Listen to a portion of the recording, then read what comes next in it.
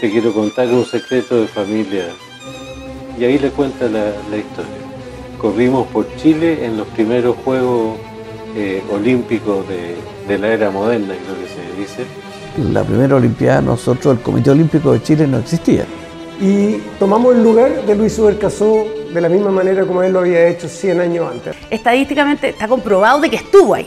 No basta simplemente estar inscrito, es necesario haber competido. Ellos argumentan que no se puede incluir oficialmente a Chile en la nómina de países que participaron en Atenas de 1896. Las crónicas de la época son confusas. El archivo no es, no es, no es un archivo de un volumen grande. Si la fotografía me da ese tipo de detalle, yo puedo analizarlo y cotejarlo y compararlo. Fue, fue, de todas maneras.